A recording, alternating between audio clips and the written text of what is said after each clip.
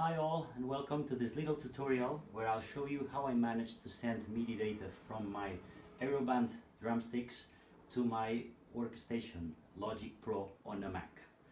Uh, the first thing I did, the first step, would be to connect my iPad to my computer using the audio and MIDI configuration where I'll set the network settings to connect to my iPad.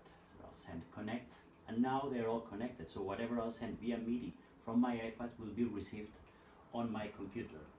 Now I will select Logic and I have nothing to do since everything that comes from MIDI will get into my tracks.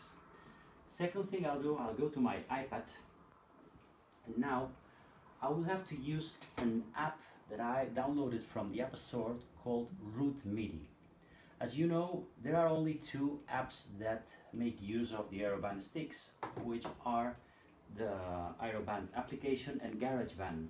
So this little application here interfaces GarageBand with the outside, outside world using MIDI. So now, once this app is downloaded, it's not expensive, it's about three bucks, nothing more than that.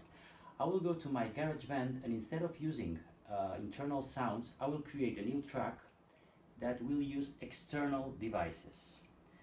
This external device that I will select allows me to choose between many synthesizers or applications in my iPad and one of them is Root MIDI. Once I select this, in my GarageBand there is this new instrument which goes straight into my Logic Pro which means I can play here and now it's Logic that's sounding but I can also use my drumsticks if I connect them using advanced features and connect the Bluetooth devices. So as you can see here, my pocket drumsticks are already connected. Now I can simply take them and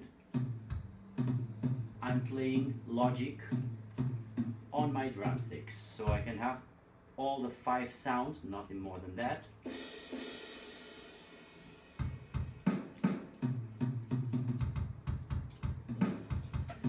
Can even select some other sounds that are not available on the app, on the iPad application, like timpani. I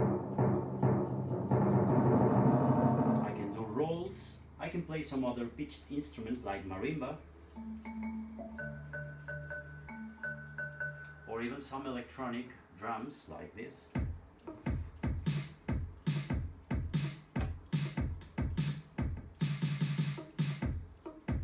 And that's all. I hope you enjoyed this video and make use of it. Thank you.